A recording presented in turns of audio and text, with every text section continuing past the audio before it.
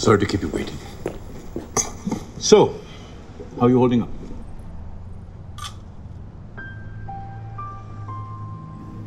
Hashtag woke up like this.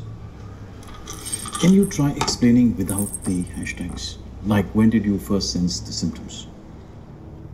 I think it was around the same time that I moved out on my own. Mm-hmm. Hashtag throwback Thursday. You know, I really thought I had it all under control. Mm-hmm. Then it happened. My dustbin kept overflowing for some reason. Did you try taking out the trash? Huh? Now I see what the problem here is. Do you? Because this morning I tried to boil some water to make myself chai. And then it burnt. What the vessel? No, the water. All of it. Come in. Thank you. Hmm. Just as I had suspected.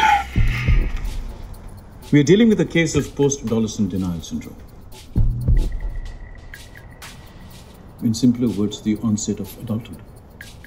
You've made three Facebook posts this week about how tired you already the next week. Next week. No, listen, listen, Miss Irani. Uh, no, Miss Irani, Miss Irani, it's okay. It's perfectly normal. We deal with this all the time. Just cool down, calm down, calm down. So I can be cured, right? No, that's not how it works. It's treatable. Okay. Have you been spending too much time in the upside down? What? How's your intake of vitamin P? Doctor, you mean vitamin B?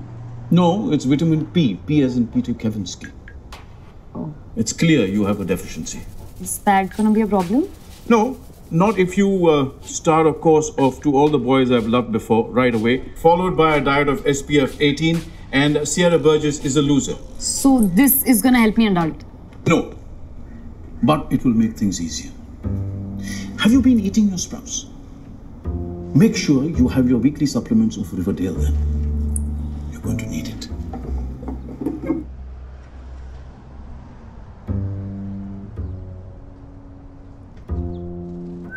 Do you feel any bouts of post teenage rebellion?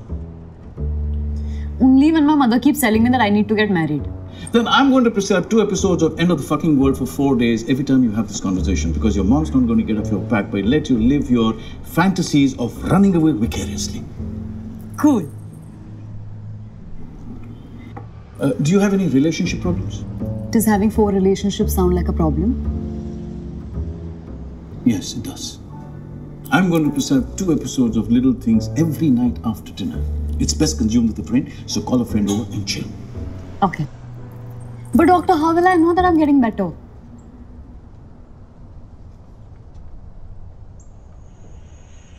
Eventually, in time, you'll wake up thinking, कभी कभी लगता है अब वही भगवान है. Then you get to know that you've hit peak adulthood. And that, you're gonna be just fine. Here you are. Thank you so much, doctor. Thank you. Thank Take you. care of yourself. Yes. Bye. Bye.